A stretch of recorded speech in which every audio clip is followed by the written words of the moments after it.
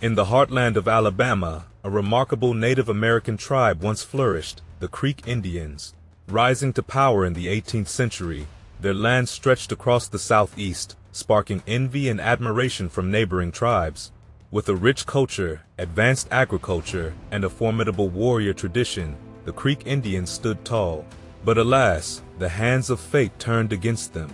The arrival of European settlers brought trade, but also disease, conflict, and displacement. As the Creek Indians struggled to adapt to the changing times, tensions escalated. The Creek War of 1813 to 1814 shattered their unity, leaving their once mighty confederacy in ruins.